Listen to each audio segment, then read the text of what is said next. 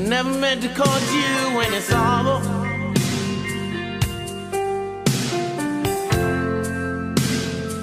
I never meant to cause you any pain.